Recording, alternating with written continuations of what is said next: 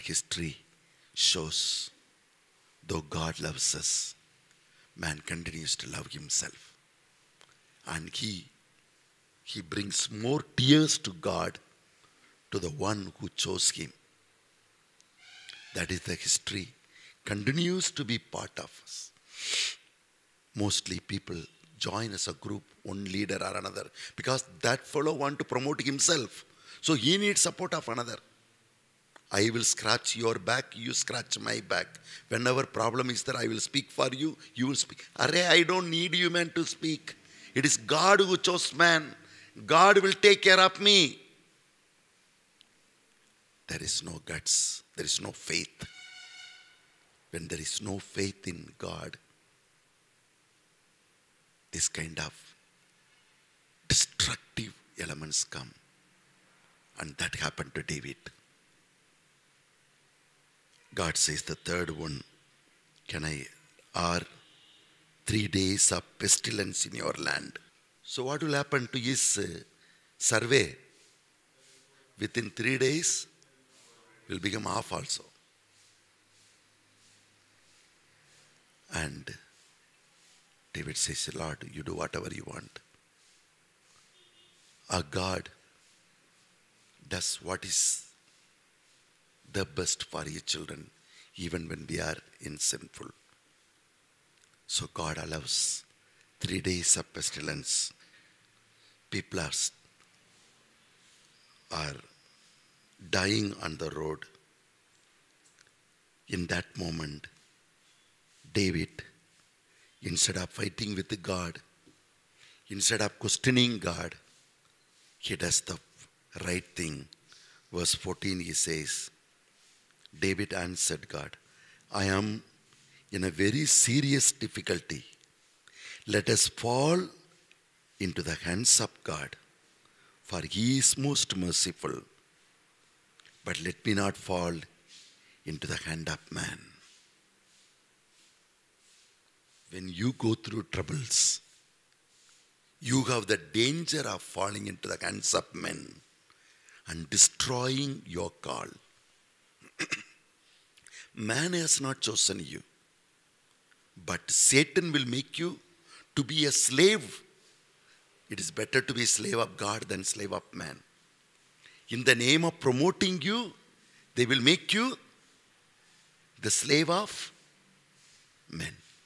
Men, in the name of promoting you, they will make you slave of themselves. So you have to report what is happening to you. You have to tell, and they will be telling and talking, talking, talking, talking. That's what God is coming and telling uh, David, do this, do that, do that. David says, keep quiet. It is better to fall into the hands of God rather than falling into the hands of men. I am not chosen. Let be the man be so big. Tomorrow, if I oppose him, he will be the first one to oppose me. As long as I say yes, yes to him, he is my friend. This is man. Don't throw away your precious Lord at the cost of benefit of the support of a man. We should have the grace to say, let anything happen. I prefer to be in the hands of God than falling into the hands of men. And when the plague was broke out, 70,000 of people from Dan to Beersheba died. He was trying to do from Dan to Beersheba, the counting. But within a day, 70,000 people died. Then David goes to the Lord. He said, No, it is better to fall into the hands of God than fall into the hands of man. So he goes in verse 17, he prays, Lord, it is I who have sinned.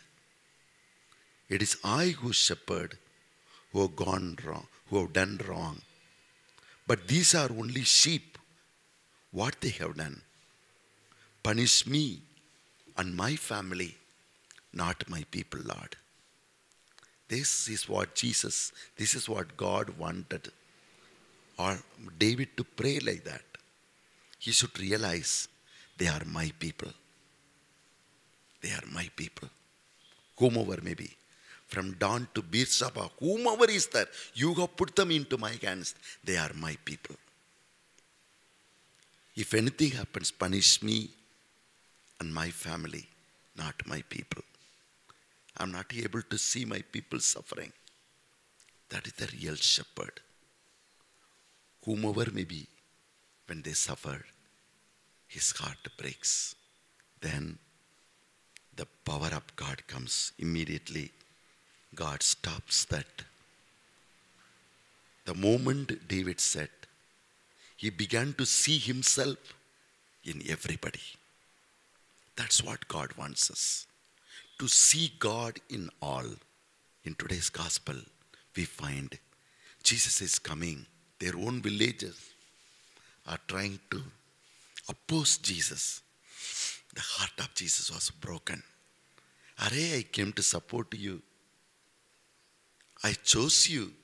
Now you yourself are opposing me. Do you know when you oppose, you yourself is going to suffer. It is not me, says the Lord.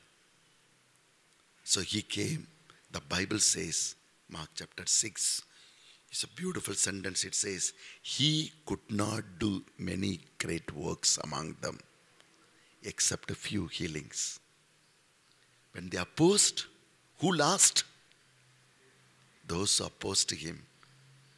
They could not experience any healings, any miracles, which Jesus would have done for them. This is the tragedy. His own, that's what we read in John chapter 1, verse 11 and 12. It says, He came to His own, and His own disowned Him. His own did not accept Him. So the Lord said, Okay, you don't accept me, leave.